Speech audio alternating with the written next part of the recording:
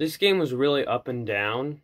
Like at first it was looking good, then of course the third quarter came, and then we started to make a comeback, and then it slipped away at the end. Uh, save me your overreactions. I already know the season's over. Everyone should be traded. the The sky is falling.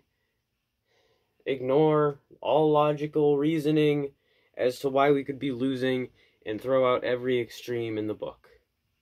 Um, so I'm just gonna say what I have to say.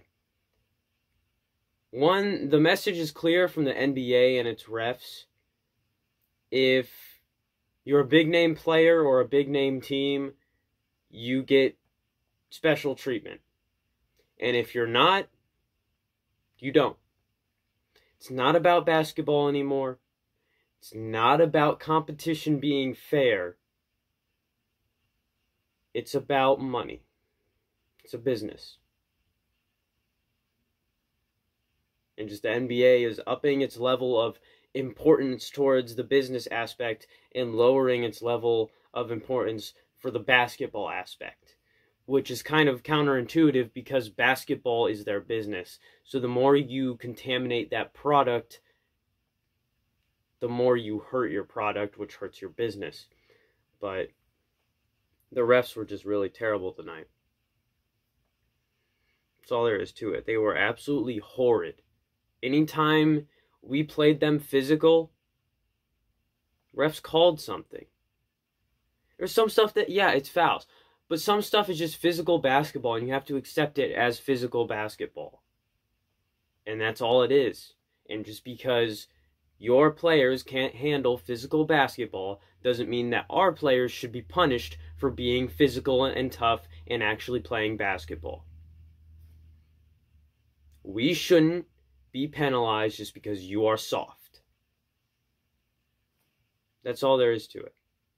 Because when you play these teams physical, you know, these types of teams, these big name teams with soft players who flop, when you play them physical, you play man to man defense, you're right up in them, they fold. They flop, they try to draw fouls, and they fold. You can't play them physical though because the refs won't call the refs call it in their favor. And it's terrible. Because as a team, you should be pinpointing the weaknesses, but the weaknesses that you can pinpoint and try and take advantage of, the refs take it away. It's terrible. And then Nets fans chanting Brogdon at the end. I, I hope every single one of those people who chanted Brogdon in that arena. Normally, I would not wish injury on someone. But when you chant at a player who is injured, that is absolutely disgusting. That is absolutely terrible. You know how much rehab, how much work it takes to come back from an injury 100%, mentally and physically?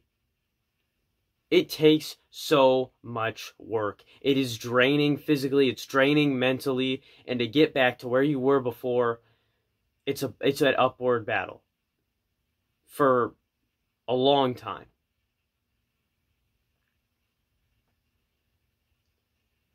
It,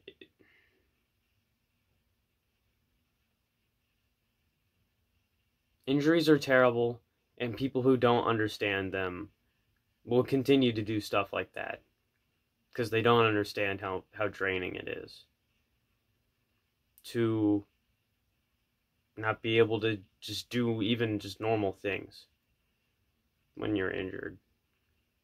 And you can't play the game that you love. And you are just stuck and you're helpless and you can't do anything about it except for rehab every single freaking day. Just rehab and rehab and rehab. Constantly doing all these stretches, all these workouts, just constantly working towards a goal that seems so far away. So that's why I'm so disgusted when people make fun of injured players or when they chant stuff at injured players, like when Celtics fans chanted Oladipo during that playoff uh, series um, when Oladipo was injured. It's just terrible. Absolutely disgusting, and there's no room for it in the game. It's absolutely disgusting. And there's no other way to put it. Um, Torrey Craig had a pretty good game, I'd say.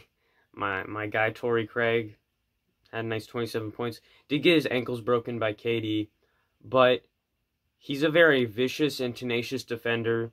And when you're as vicious and tenacious like that, you're going to get caught slipping every once in a while. That's just the nature of playing like that. But the thing that you do to make up for it is you just go back and do it again. Defend him, try and make a highlight play out of it, steal the ball, block the ball, force a turnover to something. That's all you can do. TJ McConnell had a decent game too. Sabonis had an amazing block and a decent game. So did Chris Duarte. Um, Brad Wanamaker needs to be put off the team immediately, taken off the rotation. In fact, send him to the G League and call up someone who actually wants to play good basketball. Because that guy has made some horrid decisions that I am absolutely hating. And honestly, if he was not in the game, we might have been able to complete the comeback. But he made some terrible decisions that held us back, and he should be taken out of the rotation. Put put anyone else in his spot in the rotation. I, I hope, you know, when we get healthy again, he's one of the guys that gets kicked out of the rotation permanently because he is terrible. He is absolutely terrible. He is the Julian Davenport of the Pacers right now. He is terrible. I don't like the way he plays basketball. I don't think anybody does. I don't like the way he even plays the way he plays basketball. It's it, it's it's terrible. His style of basketball is terrible, and the way that he plays his style is terrible. And he can't seem to do anything right. Sometimes he'll hit a few shots here and there, but other than that, he's terrible. And he needs to be taken out of the rotation immediately. Immediately. Um, everyone else really had a had a decent game, I'd say. Even Jeremy Lamb. He's had a few good game on offense, good games on offense. He just really needs to work on his defense. Jeremy Lamb really needs to work on his defense. Now, I'm not questioning his physicality. His physicality is there, which is actually pretty impressive for a guy um, only like a year or two removed from an ACL injury. Because mentally, that's that's tough. Because uh, his physicality is there. I've seen it. His physicality is there on defense, but his technique is not there on defense. Perimeter defense, just opening his hips and letting guys through when they when they try to drive to the basket.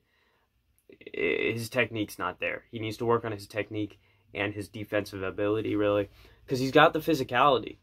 He's got the physicality. He just needs to work on his technique. Um, but yeah, overall good game, and I think it's decently impressive that we had we we didn't get blown out because last year we got blown out even when we were healthy against the Nets.